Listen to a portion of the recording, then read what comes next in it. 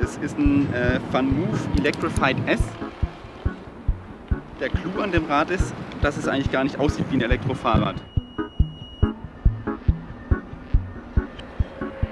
Mit diesem Fahrrad äh, pendle ich zurzeit 17 Kilometer von zu Hause zur Arbeit und am Abend wieder zurück.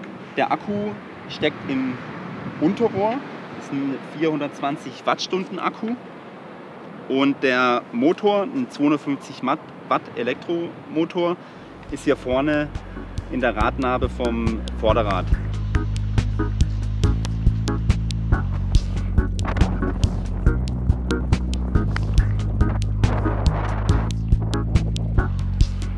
Das beste Feature an dem Rad ist der Boost-Button. Der befindet sich hier vorne.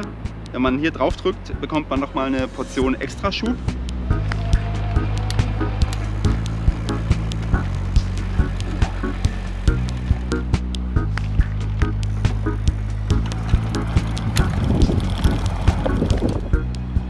Ja, sieht ganz interessant aus. Die beiden Lichter sind direkt auch im Rahmen integriert. Hat so ein bisschen was von einer Laserkanone. Das Schloss steckt auch direkt im Rahmen und lässt sich mit einer App öffnen und schließen.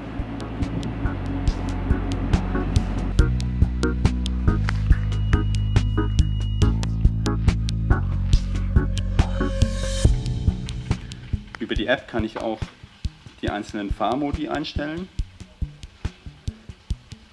und das Licht an- und ausknipsen.